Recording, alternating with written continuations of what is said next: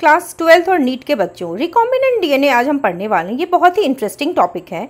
इसके छः स्टेप्स हैं। पहला स्टेप है आइसोलेशन ऑफ़ डीएनए हमने डीएनए डोनर सेल का या डीएनए लिया और एक प्लाज्मिड का लिया।